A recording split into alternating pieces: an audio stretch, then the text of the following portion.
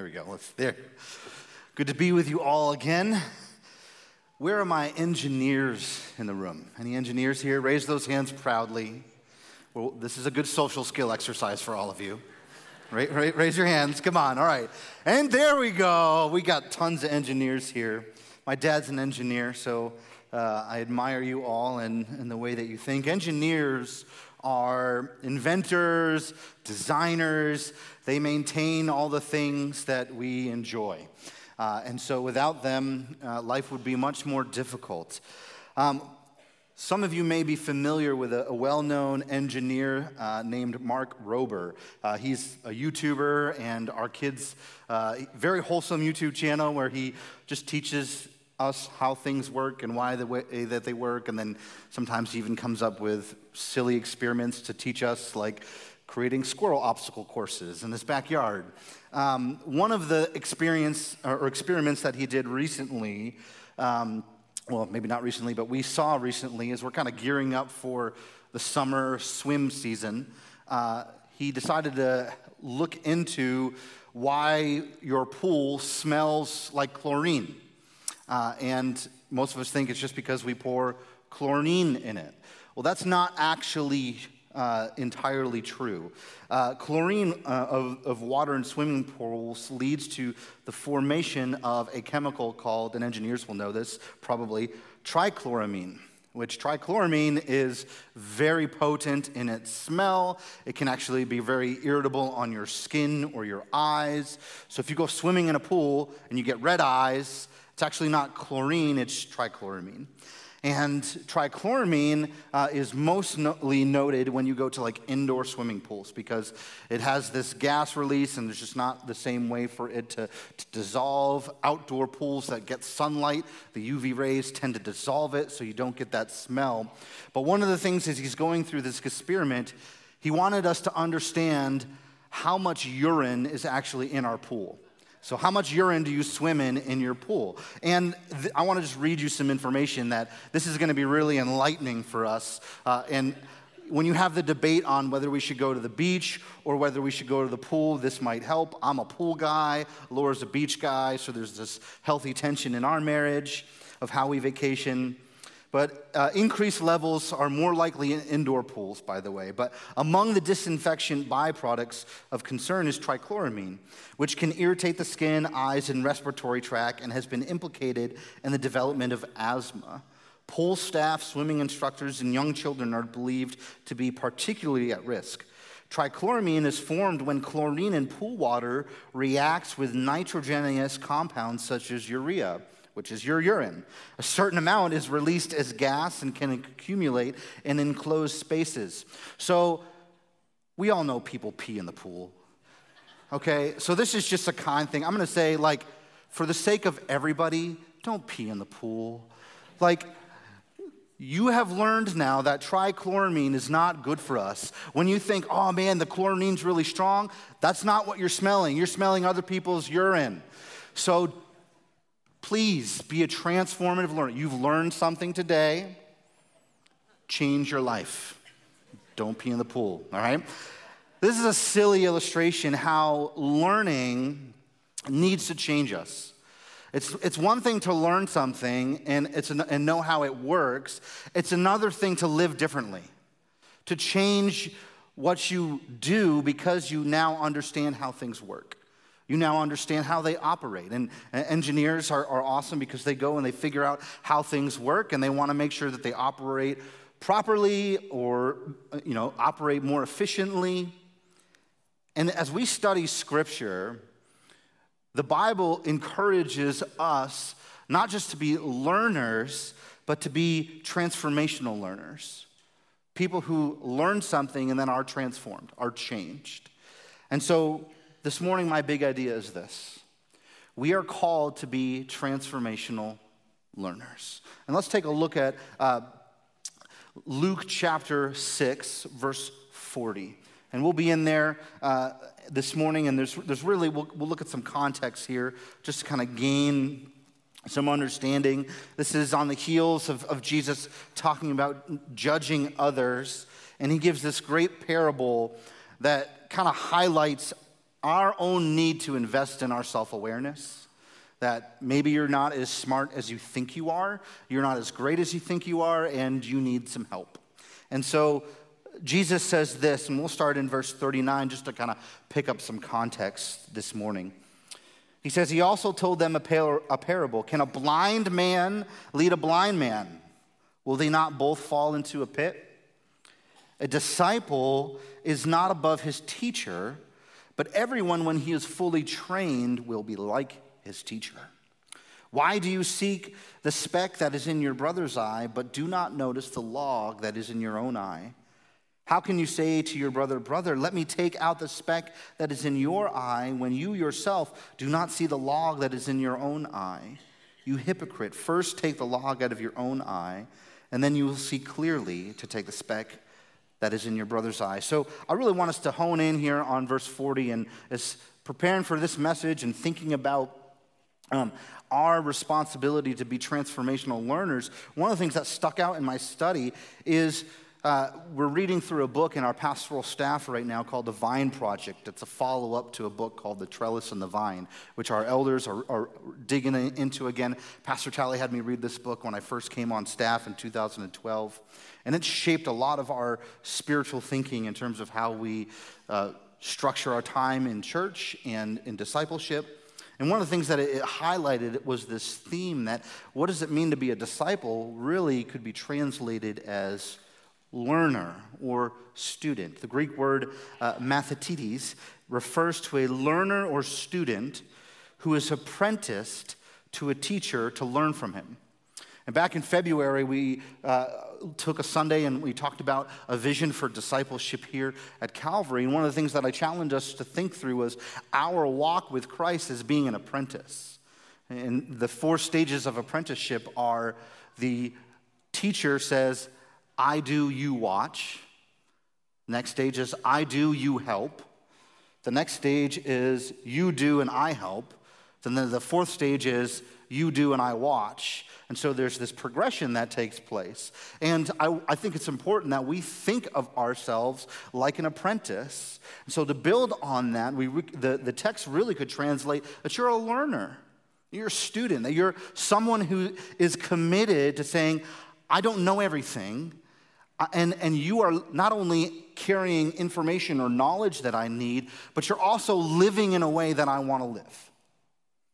And so then you build your life around learning that.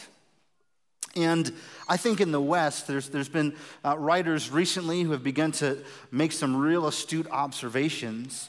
And they've said, We've created a culture where you can be a Christian, but not an apprentice of Jesus. And I think that's really dangerous because we can say, Yeah, I'm a Christian, but you do nothing to learn or to be transformed by learning as an apprentice of Jesus. In their book, uh, The Vine Project, Colin Marshall and Tony Payne say learnership cannot be taught as a subset of the Christian life or as a stage in the Christian life. It is simply one way to describe the totality of a Christian life that I'm committed to learning, that I'm committed to growing in my understanding of how God has created things, how God intends for things to function, for how He wants to, me to know Him and understand who He is, and thus, in light of that, understood who I am as His creation. And so, there's a couple observations that I want to make for us just in verse 40. And so let's, let's dive into this in just a moment.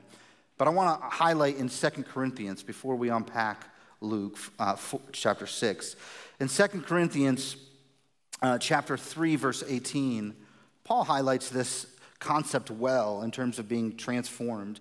In verse 18, he says, And we all, with an unveiled face, beholding the glory of the Lord, are being transformed into the same image from one degree of glory to another. This comes from the Lord who is the Spirit. So you're being transformed, if you're an apprentice of Jesus, to the pursuit and significance of your own glory, to following and living underneath the glory of God and being transformed to that image. That's an important pursuit for us if we are going to say, Yes, I am a Christian who is an apprentice of Jesus. I'm practicing the way of Jesus. And so if we go back to Luke chapter 6 now, this verse, and he, he's not specifically scratching at discipleship here, but I, I think that this verse is enlightening. There's, there's kind of three nuggets here that we can take away. The first is that a transformational learner is not above his teacher. Look at this a disciple is not above his teacher. And so there's a couple things that we could just draw from that. First off, do you acknowledge that you have a need for a teacher? So there's an assumption that if you're a disciple, if you're a learner, you have a teacher. Some of us don't want a teacher. We think, I graduated from school, I'm done having somebody over me grading my papers. I'm done having somebody who's saying, hmm, I think you missed what we were trying to get scratch at, or you missed the, the learning objective, or maybe you're not playing nice in the sandbox during recess. We all need a teacher. We all need somebody to uh, help us grow so that we can be transformed. You think about where you are in life right now and you say, I'm never going to change if I'm not committed to learning, and I'm never going to learn if I don't pursue to have a teacher. Here's another question Jesus asks his disciples in the New Testament, Come and follow me. And he has this command that he gives them to leave what they're doing and pursue to sit under his tutelage. Do you follow and pursue your teacher? I think sometimes we live in a society that thinks, I just want everybody to come to me. I'm going to sit here, and until someone reaches out to me, I'm, I, will you know, just sit here. But the Bible is full of opportunities where Jesus challenges us, the Lord challenges us. God says, Knock and the door will be opened, ask and it will be given unto you. Follow me. These are all languages that the Lord puts in our plate to say, You're responsible to pursue learning from the rabbi. What an important mind shift for us to have if we are going to be a transformational learner or transformational learner, that we're going to see that we're not above our teacher. And here's another question. This one struck me particularly.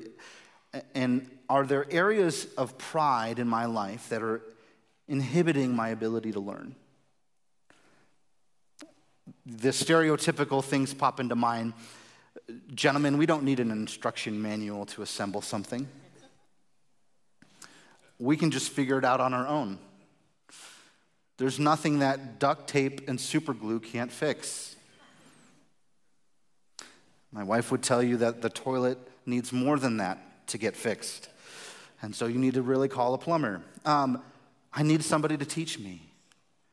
And so I would ask you who's your teacher? We all have the supreme teacher in Jesus, but Jesus has designated under shepherds in life and in this world. Who is yours? Who is that person that you're pursuing to say, I want to not only know what you know, but I want to live like you live?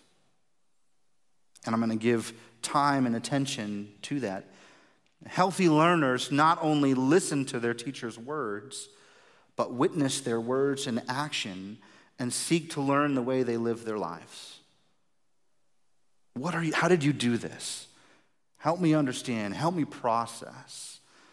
And sometimes that comes in very kind of natural, or organic ways. Uh, this last week, every uh, week, our pastoral staff is, is doing a specific study together for our own just spiritual growth and, and, and um, coaching. And Pastor Tally is kind of leading this. And there was this question in our discussion that kind of just turned into um, some parenting coaching from John. You know, we're navigating, well, how do you deal with the different stages of trying to help your children grow and mature in the Lord? And, and you feel like you're coming up against a wall and you're hitting that wall, and I'm like, I, am at a loss. And I just, he just had this one great line to me. He said, Well, praise the Lord that your child is not the finished product of what God is doing in their life now. And I just needed to hear that from my teacher. Sometimes we need to spend time with our teachers simply so that they can care for us in a way that's going to transform our own learning. So, do you have a teacher and you're not above your teacher? Don't think I know it all. I'm better than them. I can do this, you know, better than they can. No, learn from them. And if your youthfulness is stopping you from listening to the wisdom and counsel from an older generation, you're missing out. Secondly, the text, let's look at it again. A disciple is not above his teacher, but everyone when he is fully trained. Let's pause. So Jesus is making an assumption here everyone when he is fully trained. So he makes the assumption that you're training. If you're a learner, you are training. A transformational learner is committed to training. We all love the transformational highlight reels of somebody who's, you know, said, you know what, my physical health is not what it should be, and I'm gonna, I'm gonna you know, transform. And, you know, you can see in a 90 second reel somebody going from being, you know, 500 pounds and, you know, over months and months and years, you see in the 90 seconds all the work that they put in to, to then shed the weight and get healthy. And I love that. The algorithm knows that I'm like, woohoo, these are awesome. But uh, we miss out on those people who had to organize their life to be in the gym every day, to meal plan, and they trained for months and months and months and months to get to where they are now. And most of us, we don't want to do that work. I want the transformation in 90 seconds. Can I just take a pill that asks nothing of me? Or can I, like, and I don't want to use that because some of us have real medical challenges, but we must commit to training. And this is meant to be a spiritual mindset. So, do you look at your apprenticeship and your spiritual walk as something that you're giving effort to train in? So, here's a couple questions for you Is my secular knowledge surpassing my biblical knowledge? Are the things that are in this world and of this world, am I pursuing to understand them more than I want to understand God's word? When I was uh, a young adult in college, one of my favorite things to do was memorize the Celtics box score. And so then I could, you know, rattle off all these kind of statistics to prove my points that I was a better debater than everybody on which Celtics player was most important to the team, etc. And so my, my NBA stats knowledge was way more important to me than being transformed by the Word of God. And so sometimes there's silly things, but sometimes there's things that are actually really unhelpful, or I'm going to pursue the wisdom of the world more than I'm going to pursue the wisdom of God. Is studying Scripture even on your radar screen? Is that something that you see value in? Have you experienced what this can do for you. And sometimes we can feel overwhelmed like, where do I start? Yeah, that's a reasonable question. Where do I start? How do I understand this? There's all kinds of nuance. There's, you know, the original audience, there's authorship, there's historical context, there's language interpretation issues. How do I understand the Word of God? Well, it, it takes some training. So sit underneath somebody who's already trained and pursue that. And this will lead us to the second question. As we learn this information, I want to change my behavior. Am I learning God's way of thinking and perceiving? Do I view life like God views life? Am I thinking about others the way that Christ is thinking about others? These are important questions for us. And then finally, I think when you think about, am I committed to training? Are you asking questions? Uh, that can be really important. Questions make a difference because questions need good answers. And good teachers will be willing to take questions. And they won't be threatened by them, they won't be offended by them, because the inquisitive, learning mind really just wants to know. Uh, my daughter Charlotte is, is that. She loves to ask questions. And sometimes it's very tempting to feel like I am. Uh, you ever read the, the comics Calvin and Hobbes? Like, you know, he asks his father all these questions. I'm like, I could be like that. You know, like, how does the garage opener work? And Calvin's dad says, well, there's a man that lives above the garage and pulls a rope, you know, that, that opens it and closes it for us. Like, instead of having to talk about, like, the engineering of how the garage works. Don't take the easy way out. Look for a teacher who's willing to tell you the truth and sometimes it's going to take time, or sometimes it's going to take longer conversations. But we want to empower inquisitive learners. We want to ha- be honest and say, hey, sometimes hard questions need good answers. And we're, we're not offended or threatened by those when we study God's word here at Calvary. And this is why, because we aren't learning a subject, we're learning a person. We're learning the person of God. We're learning His word so that we can live His way as His created being. And so, if you are committed to being a transformational learner who recognizes that they're not above their teacher, a transformational learner who's committed to training, you're also going to find that a transformational learner will become like their teacher. And this is Jesus' ultimate aim for his disciples that they will learn who he is as they are with him, and then they'll start to practice and live like he lives his life, and then they'll become like him. We're seeing this happening uh, more and more here at Calvary as people are, are listening to godly men and women, and they're beginning to learn how to, how to shape their life in this way. And so I'd ask you this question Are words taught being received and learned? Am I receiving counsel? Am I receiving the teaching of the Word of God in a way that I've learned it and am living it? That's an important step for us. Here's another one Has what I learned changed me? Sometimes we can be really good at collecting information, and then we do nothing with it. You heard today you're going to go swimming. You're going to get out of the pool and go to the bathroom now, right? Let the information change you. And so step into a space where you can say, I want to learn so that I'm transformed, so that I can become like this person. The next one, I would say, have you organized your life to live as Jesus lived? We all need reorganizing. There's this great moment in uh, the process of selling our home back in um, 2019 when we, uh, our realtor had Amy Garland come in and, and reorganize our house and to stage it for all the photos that were going to be taken to, to sell our home. And I was amazed. I was like, wow, I want to live here now. We got rid of all this junk that was like filling up our, our living room, and like this, this is really attractive. Look at how big our home is. All we needed was to organize it in such a way that we would be able to be blessed by it. And I think that's probably true of our calendar. It's probably true of our routines. Maybe it's true of your house. There's so much stuff that's cluttering your ability to commit to living and learning the way that God wants us to. Your schedule's too busy. There's too many things distracting you. There's things that you have deemed necessary that God doesn't deem as necessary.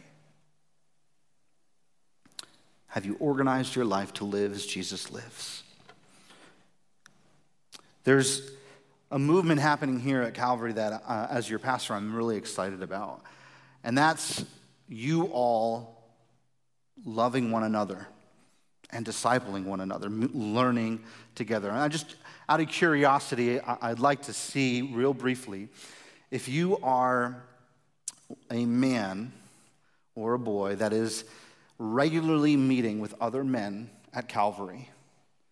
Would you just raise your hand that you're in a group? It could be monthly, it could be raise those hands high, okay? Really high. This is what's taking place. People are meeting beyond just Sunday morning. Because Sunday morning is not aimed for us solely to, to be fed once a week. They're recognizing that if I'm going to apprentice Jesus, I'm going to have to organize my life in such a way that there's more intentional space and time for me to accomplish that. Uh, over the last year, uh, Adam Beam and Dave Spinelli and I got together and we invited a group of six young men to join us in some intentional uh, discipleship learning. And so, over the course of each month, the guys committed to studying the Bible daily, journaling through that. We gave them a supplemental devotional book to kind of help with that process. They also are given a book each month that we commit to reading, and then we gather once a month for three to four hours, and we have multiple sessions. So we'll have a meal, we'll sit down, and we'll discuss the book that we read. We'll unpack what are, so what? What are we going to do with this? Then we'll have some specific time where we just listen to one another, share about what is God teaching me and what am I doing with that, and trying to take time to affirm their experience of God and the character of God and the work of God in their life. And then we'll wrap up with maybe some specific targeted teaching by one of the leaders. And it's been a joy. These guys are growing. These guys are, are, are taking serious their own life and I wanted you to get a glimpse of that. And so uh, we took some time. Connor uh, has been dabbling with the idea of a podcast. And so we want you to watch this brief video. Um, and we took some time to interview Isaac Kulam and Harry LeBlanc. And they're both young guys in their 20s that have been members here, grew up here at Calvary. And they're just going to share a little bit about what being part of an intentional learning group has looked like for them. So take a look.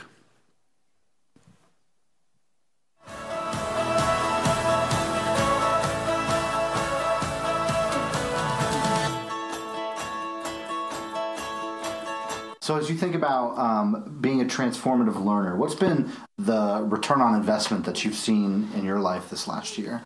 So I I'm I'm always blown away by the the wisdom that's found in the Bible. I, I think I, I know for me, um, I can get kind of numb almost to the wisdom that's on the pages of the Bible because I'll be trying to do like a certain reading plan, like I'm trying to get a couple chapters done a day so I can get through the Bible in a year. Uh, I, I, I did that once, or I'm trying to just read a passage for a devotional that I'm doing, and I don't I don't spend the time that I should thinking about the words that are actually on the page. Instead, I just see them as a, a mark that I have to hit.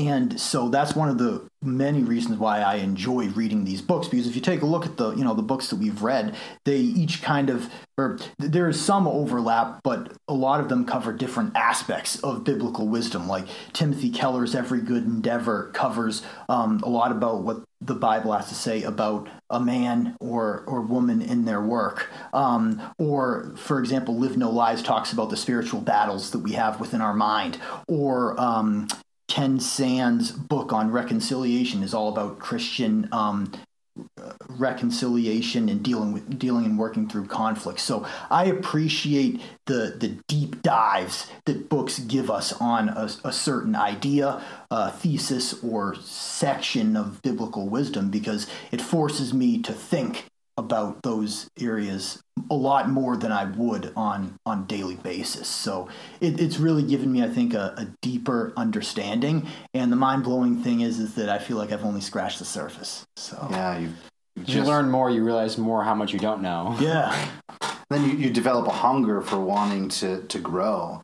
Um, it's been neat to just see both of you uh, mature in, in different ways in your life. Harry, it's been fun to see you gain confidence in making decisions or just hearing about you know you share about work and being able to make decisions quicker you know like you're maturing in a way of saying like okay the lord's equipped me and given me the skills to be able to do this.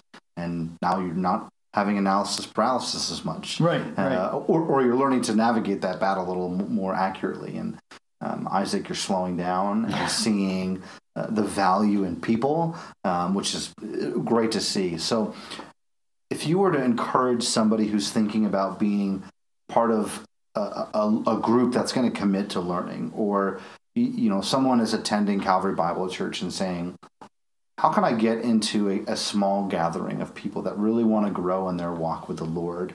What would you want them to know? I'll let you take this one first, sir. Sure. I mean, I, I think the the big thing for me is like you know if, if you're on the fence, if you're not really sure if you should do it or not, I would I would say to you to just I would you know just just trust God and join because it's really I had no idea before I joined this group how much of an impact it would have on my life. Um, it, but you know, once I joined this group and started, you know, interacting with other um, followers of of Christ, you know, guys who are serious about their their walk, um, it really just gave me a whole new lens and just, um, I guess, hunger to pursue my my relationship with Christ more. And you guys think about the value that small gatherings or small groups have added to your your spiritual transformation.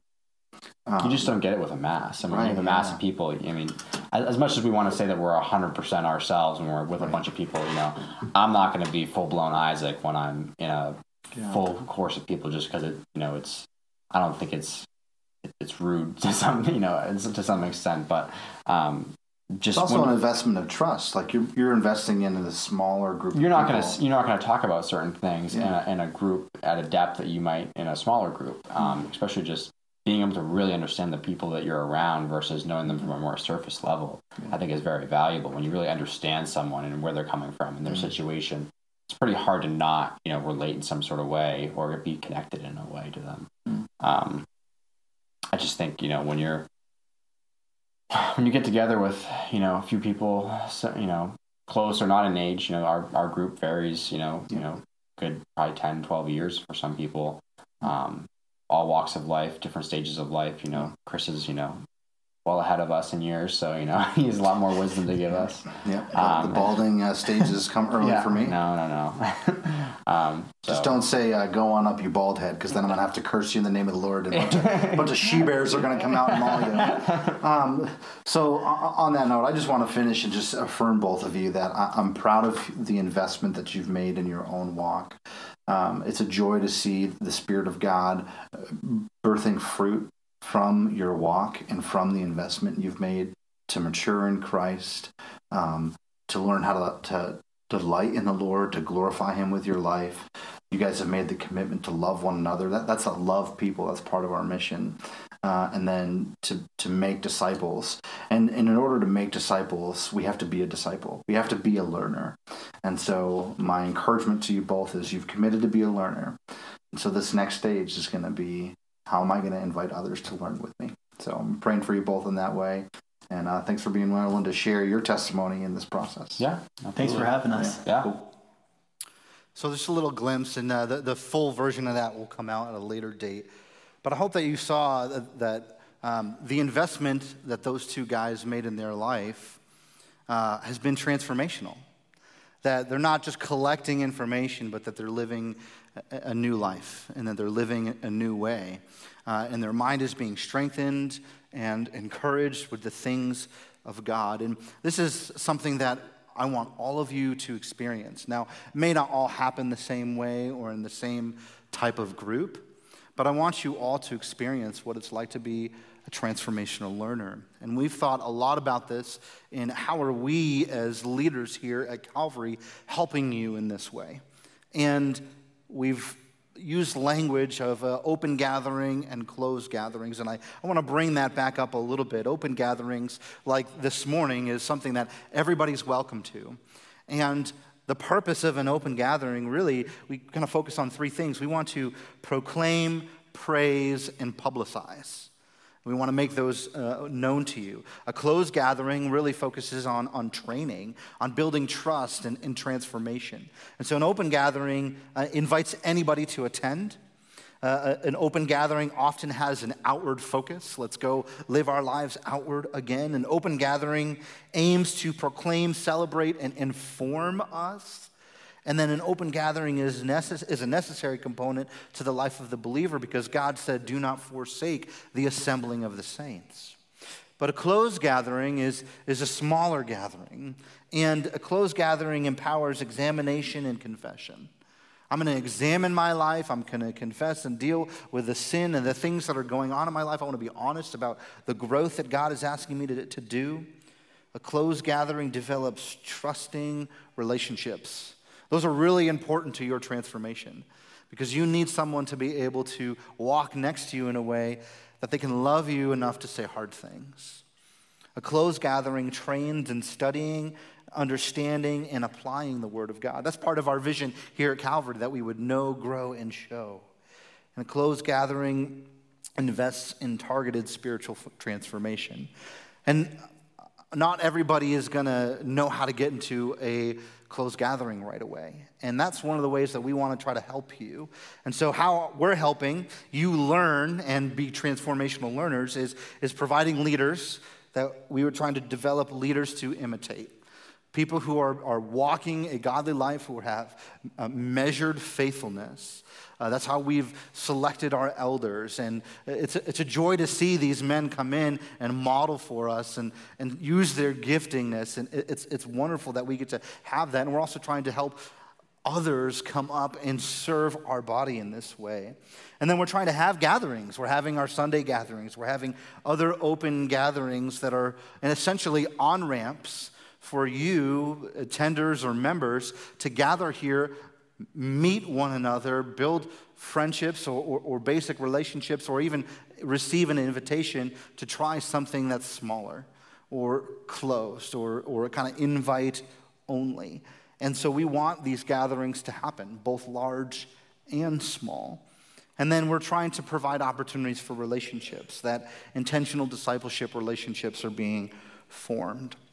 And so, one of the ways that we've decided to add a layer to support the elders of Calvary Bible Church is to introduce volunteers uh, that are, are, given some uh, specific ministry titles and roles. And, and those individuals are uh, not being placed in these roles to control or run everything, but to coordinate with all of you because you are the saints that have been called to do the work of the ministry. The job of the elders is to equip the saints to do the work of the ministry. And so our desire is that we would help plug you all in. And so um, our ministry coordinators, uh, they do really three things. In support of the elders and equipping the saints to do the work of the ministry, we're asking them to equip, in power and in trust. And that language isn't new to you. You've heard me say that. That they're going to equip people who want to, to get smaller gatherings going. What do you need? Do you need resources? Do you need materials? Uh, do you need space? Can I help coordinate that? Do you need someone to walk alongside of you in that? Let me plug you into someone else. To empower you, to say, you can do this. We can give you the, the, what you need to accomplish what God is laying on your heart underneath the leadership of the elders of Calvary. And then entrust you to do that, to be able to say, yeah, we can, we can give this to you in such a way that you're going to, to open up opportunities. So I'll give you an example of how this kind of plays out. One of the things that we have for men is men's breakfast, and that happens monthly. And that's an open gathering. Any man can come. And it's an opportunity for guys to come, have some great food, uh, hear from the Word of God, interact with other guys at their table, and then every uh, Saturday, first, second Saturday, Saturday, second Saturday of the month, the guys get to hear of opportunities of how they can plug in with other guys. And people who are leading some of these smaller gatherings are inviting other guys to join them. Our young men's cohort is uh, going to wrap up in September and they're going to split off. And I've asked our young guys to say, okay, you're going to step into leading a new one and you're going to look to invite six other guys who are the next batch that are going to go through this commitment to learning and being spiritually transformed. And so that's what we're asking you to think and consider and participating in is that uh, we're still learning and ironing out what this process looks like, but we want to let you know that we've asked three individuals to step into some specific roles. Um, and so I'm going to ask if the elders would come and join me on stage because we, would like to pray for these three people. Uh, one of them may or may not be here. She had a sick child, but uh, Mary Sharon has stepped away from being the conference director uh, for Ladies Day Apart. She's not leaving, she's still going to support that. Uh, but Jessica Clater has agreed to be our next conference director for Ladies Day Apart. And then we've decided to have a men's ministry coordinator and a women's ministry coordinator. And so uh, Ron Poitras has already been leading men's breakfast and has been kind of serving in this. So I'm going to ask Ron if he would come up. Ron is going to be serving as our men's ministry coordinator. And Tracy Durant is going to be stepping into the role of women's ministry coordinator. And Tracy served on past women's ministry boards. And both of these individuals have been longtime people here. And their desire is just is to help us kind of get some of these things going. For women's ministry, particularly, we're going to see things that uh, are new and that maybe hadn't happened for a while. So I'm going to ask the three of them if they just come up. We just like to bless them and affirm them as they step into these roles. Uh, these roles are meant to serve you. Uh, their roles are not meant to control. They're not meant to say, oh, they get power. Their, their job is to support us as elders to equip the saints for the work of the ministry. And so uh, we're excited for the next season that God has, and that these three have been willing to faithfully step into these spaces and say, hey, we just want to serve our body and help them. So uh, we're just going to lay hands on them and pray over them uh, as ministry leaders uh, and servants here at Calvary. And I would encourage you, pray for them. Um, they have a hard job um, because they've got to love us, right? and love, and love you. And sometimes that's difficult because we're sitting in a room with maybe 500 people. There's 500 opinions on how things should go. And so let's love them, let's pray for them. They, they're asking the biggest question that we as elders ask all the time What does God want us to do? What does God want us to do? Not man, what does God want us to do? So let's just pray that God would use them to equip, empower, and entrust you. So let's pray together. Father, we thank you for, for Jessica for Ron and for Tracy and their willingness to step into these serving roles. Lord, I pray that you'd give them wisdom and discernment on how to best lift up our body, how to best connect with people to help them become transformational learners, that they'd be able to get into to relationships and groups that are going to spur them to apprentice Jesus. That we'd be able to say that we're not just a Christian, but that we are practicing the way of Jesus. Lord, protect them from the spiritual warfare that's going to come their way in a growing church, Lord.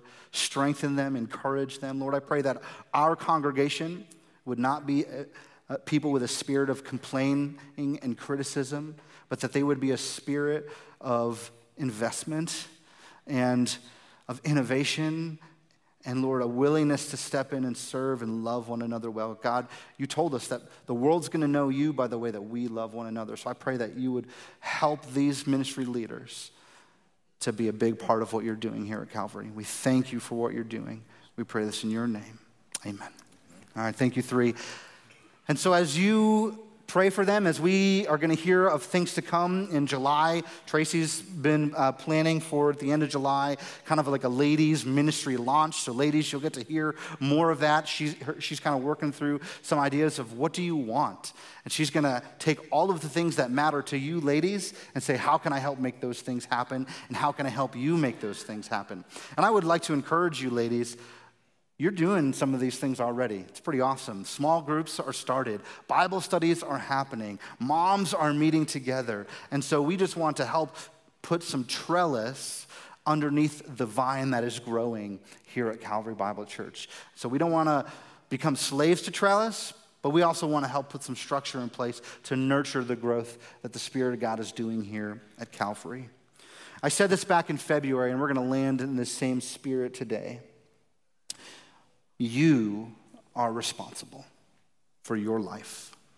You are responsible to commit to being a transformational learner. You are responsible to see that you're not above your teacher.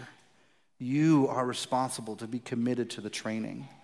You are responsible to become like your teacher and the ultimate teacher, Jesus. Be responsible for your life. Take that seriously. And if you want help, we want to help you. And that's why we're putting those three in place, because we care. We want to help you. And we may not always do that perfectly, but we're going to give it the good old college try and, and try to love one another well. And so let's just pray together that the Spirit of God would continue to move and work in us as we commit to being transform, transformational learners. Father, we thank you that your Son Jesus came down and loved a sinful people people who could do nothing to regain a right relationship with you, and so that you made a way to us. Lord, thank you that you have offered yourself as the supreme holy teacher that we can trust, that we can learn from, and that we can model our life after. I pray for each individual in this room today. Help them to see you as their teacher and help them to delight in learning. Lord, I pray that each of us would commit to being transformational learners. And I pray that as we are transformed, that Calvary Bible Church would be filled with believers who don't just say that they're Christians, but they live their lives like the way that Jesus lives his.